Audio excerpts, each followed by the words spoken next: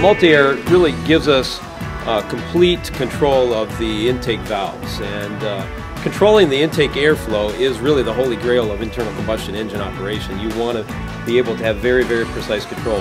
And what we've done is with the multi-air technology, it essentially take a dual overhead cam engine, throw away the intake camshaft and replace it with what we call the multi-air brick.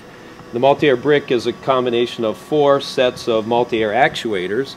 They operate by using a very high pressure uh, hydraulic system, uh, oil, that is uh, actuated by a single lobe on the camshaft. So we've got a single exhaust cam, two lobes for two exhaust valves, one intake lobe. We've got a roller finger follower, follows that, runs the pump. The pump creates a high pressure, uh, over 100 bar pressure in this high pressure chamber.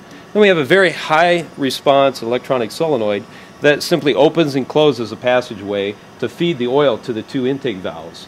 And it uses a hydraulic collapsible hydraulic lash adjuster uh, that when it's pumped up you follow whatever part of the cam lobe you're on and when uh, we bleed it off it closes rapidly. So there's, there's actually five different modes of control that we can uh, utilize. So under the high performance conditions we are following the intake cam profile completely. It's called full lift mode uh, when we're in part load conditions and you want to optimize uh, fuel consumption and reduce emissions, uh, you can you utilize a, a process called uh, early intake valve closing. So you start to follow the cam lobe and you close it. Or if you're in a very low speed operation or idle, you can uh, have simply a late intake valve opening. So you wait and you control the timing of the open and the lift of the open.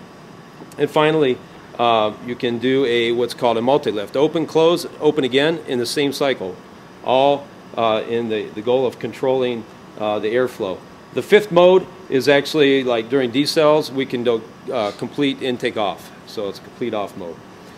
All right, so some other things that we've done uh, in order to uh, get the performance that's required for this Abarth, we added the, the Honeywell turbocharger.